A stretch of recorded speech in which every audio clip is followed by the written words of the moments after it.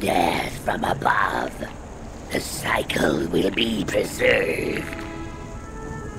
Show no mercy